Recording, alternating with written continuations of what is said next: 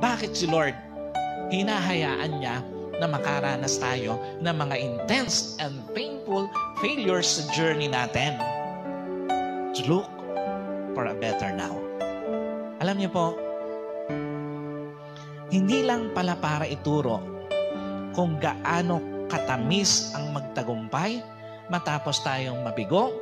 Hindi lang pala para matutunan mong pahalagahan ang masasakit mong karanasan, kung hindi para turuan ka na maniwala anytime pe pwedeng magbago ang sitwasyon mo.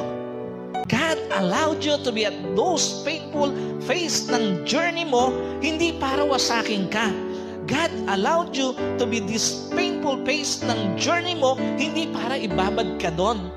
And God allowed you to be at those point, painful phase ng journey mo, hindi para saktan ka lang.